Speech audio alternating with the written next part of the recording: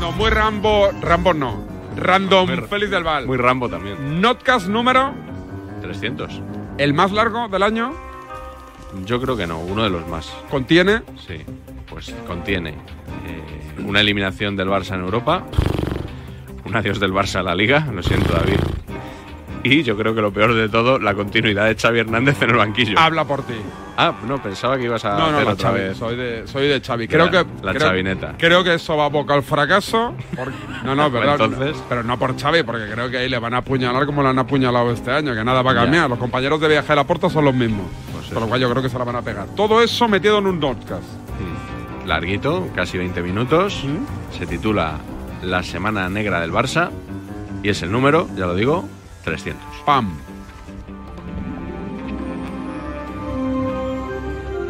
Hay un centro comercial que tenía un eslogan muy llamativo que era la Semana Fantástica. No fue desde luego el caso del Fútbol Club Barcelona, eliminado por el PSG un martes y derrotado en campo del Real Madrid al siguiente domingo. Una semana negra para el Barça, adiós a la Champions, adiós a la Liga. Lo que para unos es negro, para otros es blanco, y nunca mejor dicho. Esta es la semana más fantástica que pueda tener un madridista con el mejor guion. Ni Steven Spielberg en su momento más inspirado lo hubiera hecho mejor. Si a mí me dicen el lunes que el martes le iban a caer cuatro al Barça en Montjuïc con dos encima de Mbappé. ¡Kylian Mbappé! Que a la Leti le iban a caer cuatro en Dortmund cuando iba a ser la semifinal española. Que llega el miércoles el Madrid que estaba eliminado. La D es muda. Como decía Soria, está eliminado, que el City está eliminado, que no tiene nada que hacer, que esto es eliminado, que esto es eliminado, que va a pasar por encima del City, que van a meter 6, 7, 18. Bum, bum, bum, bum, bum. Es cierto que antes de esos dos partidos, algunos comentaristas culés sacaron la lengua a pasear más de lo recomendable. Tenemos dos títulos en juego esta semana. O sea, ganarle al Paris Saint Germain y luego lo que haga Pep contra el Madrid. Les fastidia porque ellos, que son el gran equipo de las Champions, están a punto de caer eliminados en cuartos, mientras ven que nosotros estamos a punto de pasar a semi. Y esto es lo que ellos no tenían previsto para nada. Que sepas, Siro, que si por segundo año consecutivo Pep Nostrus año os deja fuera de la Champions, esto será placer con P de poesía. Yo quiero que en la próxima eliminatoria el Real Madrid se cargue al City. Lo siento por Pep Guardiola, que lo adoro, pero yo no quiero una final contra Guardiola. No quiero que Pep Guardiola nos pueda ganar una final, pero sí quiero verme las caras con el Real Madrid. Sí quiero verle la carita a todos aquellos que decían, Xavi, quédate, porque hay algo de justicia divina en el mundo. Y como yo no soy un miedoso, yo quiero al Madrid. Yo quiero ganarle una final al Madrid. No se la quiero ganar a Guardiola, me, sab- me sabría mal. Se la quiero ganar al Real Madrid. Y quiero que Xavi, en rueda de prensa, les diga, Xavi, me quedo. Se queda. Merengue, ¿sabéis qué? Me quedo. Porque le habéis faltado al respeto a uno de los mejores jugadores de la historia. Y yo quiero al Madrid en la final.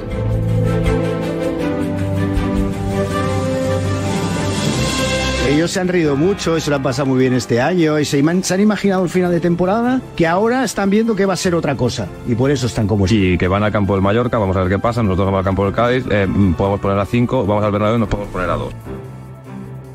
Primer acto. Adiós, Champions. Es una derrota dura. Fracasazo, con letras así, neones grandes. ¿eh? Los culés van a tardar en recuperarse de este palo duro. Lo de esta noche ha sido muy duro, sí. Es unas cosas, ¿eh? Que Dembélé te amargue la fiesta también. ¿eh? Vaya dos partidos ha hecho. ¿Ha sido el mejor? Ha sido el mejor tanto en la ida como en la vuelta del Paris Saint Germain. ¿Cómo se atreve a celebrar este jeta, este cara dura, este sinvergüenza futbolístico después de lo que te ha pagado el Barça? Chaval, por estar lesionado y comer pizzas en tu casa, fantasma, córtate, chaval. ¿Qué haces celebrando el gol como lo has celebrado? Y venga animando, y venga yéndote a los ultras. Eres un sinvergüenza profesional, entre comillas. Me alegro que te hayas pirado. Hoy no duermes, chaval. Yo no sé qué pasará en la vuelta, pero hoy en veré. Tururu que te vi. Como todos me llaman Fofito, de payaso a payaso.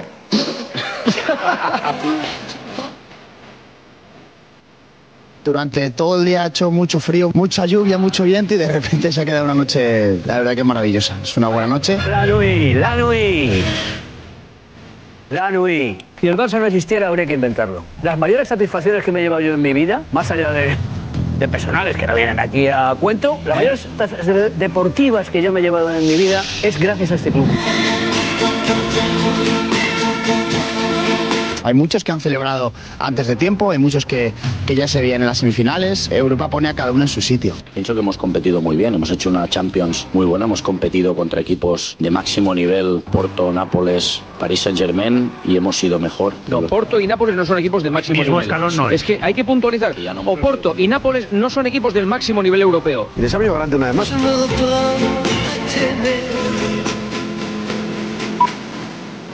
Cuando expulsan a Araujo, el Barça está ganando la eliminatoria con dos goles de diferencia y acaba perdiendo 1 a 4. Se ha competido bien, se ha dado un paso al frente, pero que vuelves a caer en Europa. Pero es que al final tampoco competiste y hasta el minuto 30 o 27 que se produce la expulsión de Araujo, el Paris Saint Germain tiene el balón y el Barça no da tres pases seguidos. ¿Qué coño me estáis contando? El Barça lleva una década haciendo el ridículo de la Champions. Es la cruda realidad. Este ha sido un capítulo más de los 10 años que lleva que le viene grande la Champions.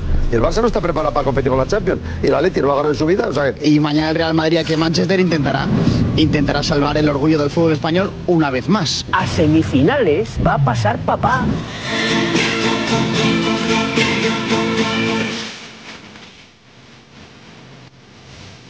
Y ya lo último, aplaudir a Luis Enrique. A mí que nadie más me nombre el nombre de Luis Enrique. Eh, no es de los o, o si fuese otro, el que está en... Que no es de los nuestros.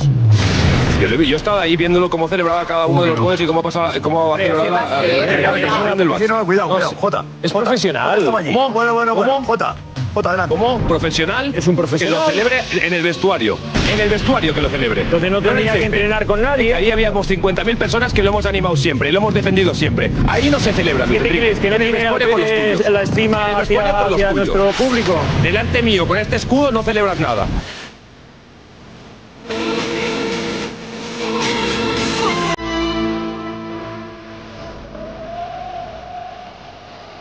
El asunto es si Xavi es el gran perdedor de esta noche. Podemos hablar del arbitraje si queréis. Y nos quedamos con injusticia y estas cosas. Personadoxo. Sí, un arbitraje extraño, la verdad. Por no decir otra cosa, pero bastante extraño. Bastante extraño. Dijo que no iba a hablar más de los árbitros. No voy a hablar más de los árbitros, lo dije. Os lo prometí además, ¿eh? No os puedo fallar. Yo hablo de los árbitros hasta que hablo de los árbitros. Y todos son excusas. Hay otra eliminatoria a partir de esa jugada. Para mí es demasiado quitar roja en esta jugada. No pienso que no es bueno para el fútbol quedarse con 10 futbolistas. No hemos podido pasar a semis porque no nos han dejado. Eh, el robo ha sido histórico. No sé, yo no lo había visto, no lo había visto nunca.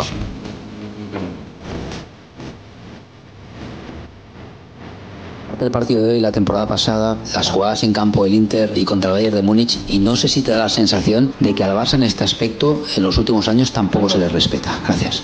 Estudiantes de periodismo. Una pregunta agresiva. Así se hace. Sí, no, nos- no estamos, no estamos teniendo suerte en las decisiones arbitrales, sí, tienes toda la razón. Desde que estoy yo aquí, todo ha salido cruz. Todo, pero todo, ¿eh? Sí que creo que los últimos años el Barça en Europa le está saliendo cruz los arbitrajes, porque la expulsión de hoy puede ser interpretativa para un lado o para otro, te cae cruz.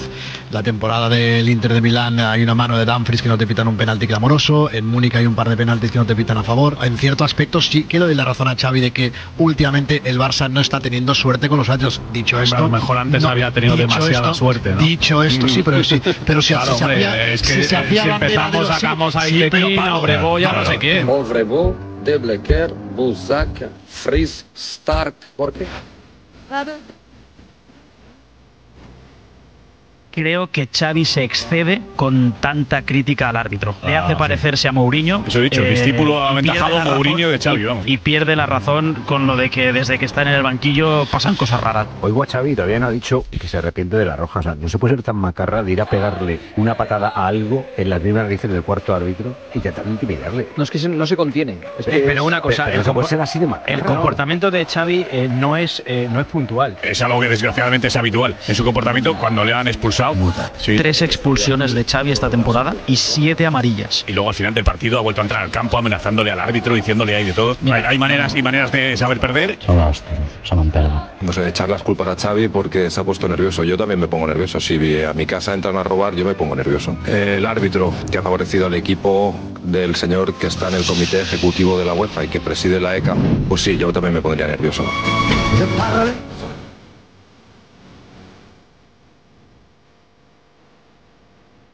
Verdad que el equipo compite muy bien cuando hemos estado 11 contra 11 y hay que, hay que quedarse con eso, ¿no? Pensar ya recuperar gente y el domingo pues a competir, no tiramos la toalla en la liga.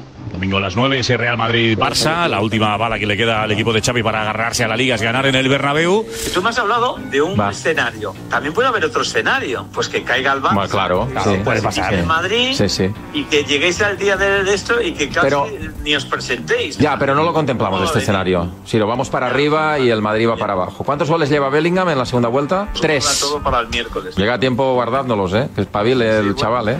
Brahim es planta la frontal, la posa a la dreta, la centrada, es passeja per l'àrea, Bellingham, gol. Segundo acto. Adiós, Liga.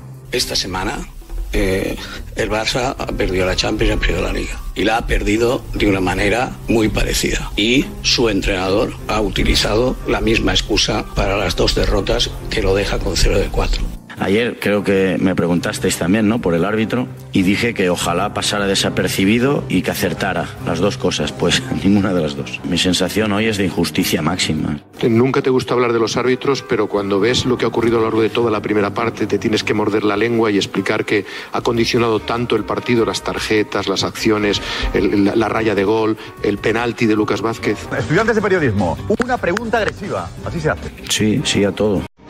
sí a todo.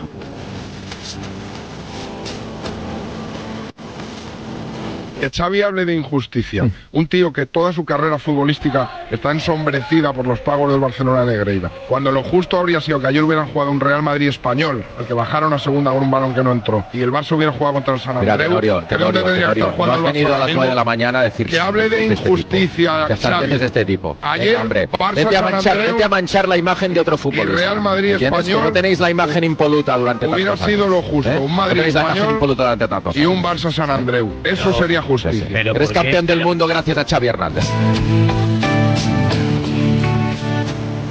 Y hoy se tenía que terminar la liga para que fuerais tranquilitos a jugar a Múnich. Así que enhorabuena a todo el sistema arbitral por la vergüenza que hemos visto hoy, por el atraco que se ha vivido en esta liga adulterada hoy en el Bernabéu. Un hurto deportivo, un robo escandaloso al, al, al Barça, además rozando la, la cleptomanía, porque robar cuando no lo necesitas, porque vas a ganar la liga. Es que lo tenía clarísimo que iba a pasar esto. Que ya han puesto al árbitro que querían ellos, al árbitro que les ha favorecido más veces y que casualmente es el árbitro que peor le va al Barça, que menos partidos ha ganado el Barça, que más estadísticas en contra tiene el Barça. ¡Qué casualidad!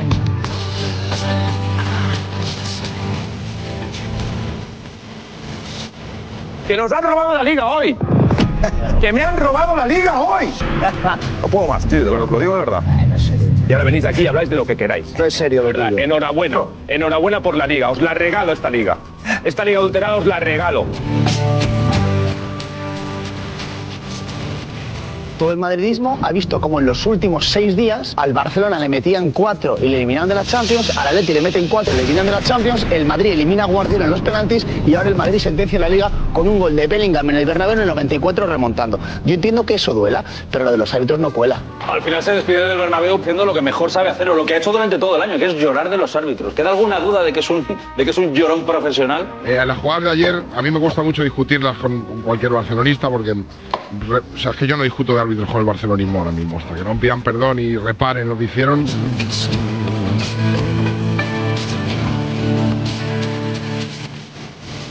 Una vez más cuenta una cosa en la rueda de prensa que para mí no ha ocurrido en el partido, pero bueno, nos tiene acostumbrados. ¿Qué es lo que no ha ocurrido para ti? Pues que Barça, esto es de justicia y que el Barça ha jugado para ganar y demás. Decir que el Real Madrid o que el Barcelona ha sido muy superior y que se merecía ganar los tres puntos, yo creo que es vivir en una realidad paralela. Vive en una realidad paralela. Ve un partido distinto al que ven los demás. Ayer la primera intervención de Xavi en rueda de prensa es delirante.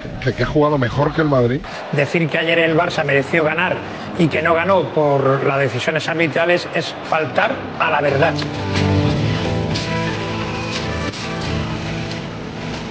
De esta noche es una mínima parte de lo que os espera. Os esperan años aciagos, de mucho sufrimiento, de venir muchas veces a este plató a hablar de los árbitros, de los arbitrajes, de que nos dejan competir. Un túnel inacabable y negro, sin una salida clara. ¡Negro!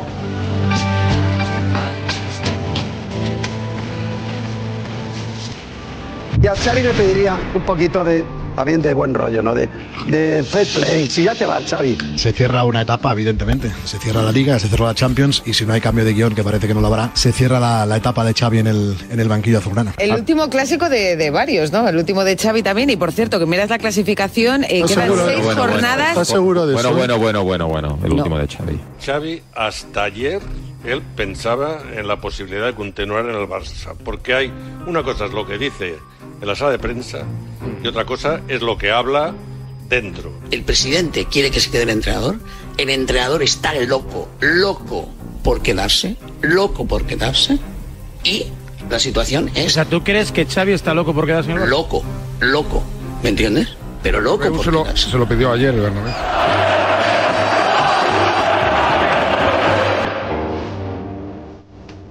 Tercer acto. Xavi se queda. Xavi se queda. Se queda porque lo quiere el presidente, lo quieren sus compañeros. La pregunta es, ¿por qué? ¿Por qué? Porque esto nunca, no era un escenario que nunca imaginaba. Que la voz del Bernabéu iba a ser de mandamiento y obligado cumplimiento para, para los A ver, se cantó el otro día. No, no, pero no, el otro día se iba cantando meses. Bueno, los madridistas me extraña que no estén en Cibeles, sinceramente. Yo creo que es una muy buena noticia para el madridismo. Porque sabía que me tocaba venir hoy, si no yo estoy en Cibeles ahora. O sea, para mí esto es la decimoquinta indiscutiblemente. Lo que era no, no, no a día de hoy. A día de hoy. No hay fecha de caducidad, no, no, no, se ha convertido en un sí. Lo de dimitir o no dimitir se ha puesto de moda en España en general. Encima parece todo bien, hay unanimidad, Xavi está ilusionado. Dentro de un año nos van a negar que Xavi, después del partido con el Villarreal, anunció que se marchaba el 30 de junio. Que la gente recuerde lo que pasó el 27 de enero. Anunciar doncs, que el 30 de juny no seguiré com a entrenador del Barça. Creo que estoy haciendo lo mejor para todo el mundo. Tu decisión entiendo que es irrevocable, pase lo que pase en la Champions, aunque la ganes. Sí, sí, no sí. vas a cambiar de opinión. No. ¡No!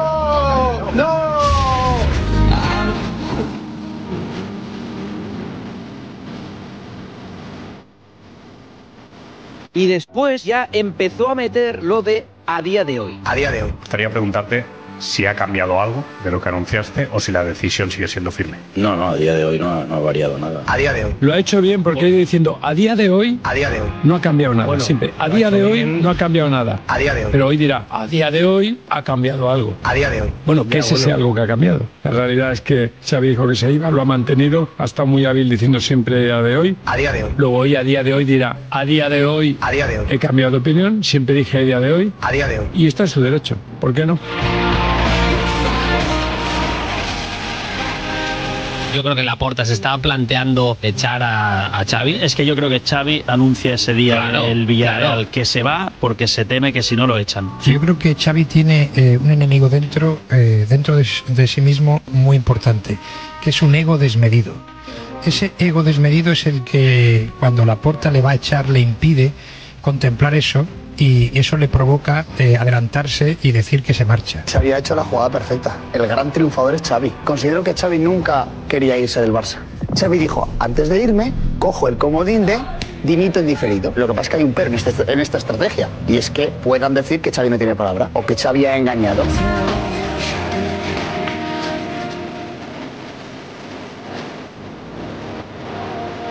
Y se va porque no aguantaba la presión, porque desde Barcelona era un boicot continuo, porque hay mucha gente que quiere que vaya mal y que está celebrando que este año Xavi no gane ningún título. No es, de mal barcelonista querer creer que Xavi no es el buen entrenador para el Barcelona. No, yo no digo- es de mal barcelonista. El Barça cada día ha hecho con Xavi todo ese sector. ¡Buah, qué mierda de liga! La liga del 1-0.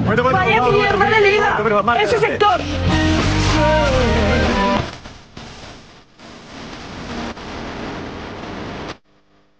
Hoy se ha optado por la solución fácil, que ojalá me equivoque, pero va a salir mal. Pienso que es un error histórico lo que está haciendo el Barça ahora mismo. Es que estamos todavía viviendo de la liga del año pasado. Ojalá me equivoque, pero guarda el corte, por favor. Mm, Va a salir mal. Y ojalá me equivoque, pero va a salir mal. ¿Creéis que la afición del Barça esta noche está contenta? Pero si no le han pedido que se quede ni un día, ¿no? La afición del Barça está flipando. Yo no pondría las dos manos en el fuego a que si el Barça queda en lugar de segundo tercero, Xavi vaya a seguir. Mira lo que Dale al like si te gusta el contenido, suscríbete si todavía no lo estás Siéntete libre dando tu opinión y comparte el contenido en tus redes sociales.